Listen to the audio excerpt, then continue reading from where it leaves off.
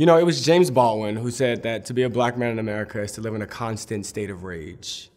And that is one of the most relatable quotes I've ever heard in my life. To have expectations of you, expectations of black men, um, expectations of strength, of courage, of resilience, but have representations that never show that is a constant state of rage.